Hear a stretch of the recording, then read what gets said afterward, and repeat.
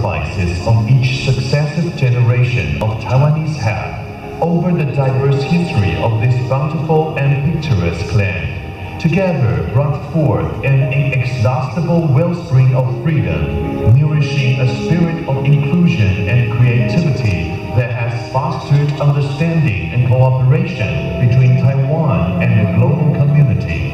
On the centennial of the Presidential Office Building,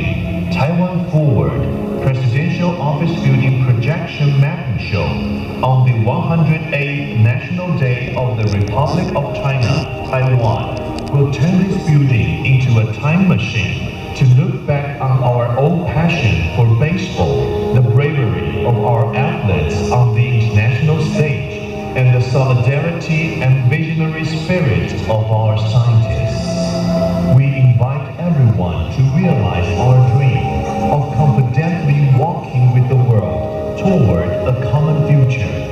and to help engrave Taiwan's many into our shared human history.